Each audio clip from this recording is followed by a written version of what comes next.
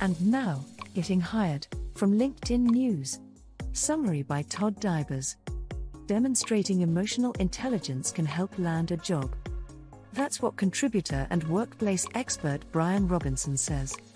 He contends that emotional intelligence is in demand, and job hunters can practice it.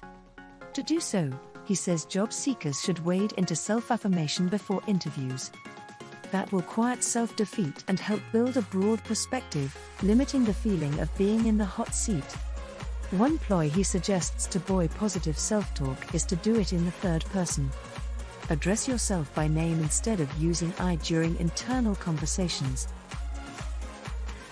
The mental trick can help calm you.